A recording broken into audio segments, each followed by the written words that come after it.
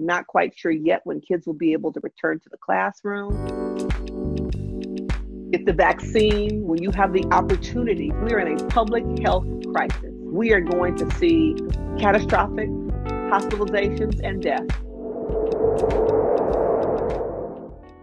I am looking forward to this first four years. We're beginning to roll out the vaccine. There are tiers in that. We know that people in skilled nursing facilities and health professionals are in first tier, teachers are in tier B, 1B. By the time the vaccine is available to everybody, could be six, seven months down the road. So we will still be in a state of recovery. Not quite sure yet when kids will be able to return to the classroom.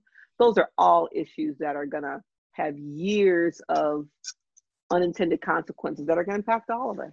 We are in a state of crisis. We are in a public health crisis.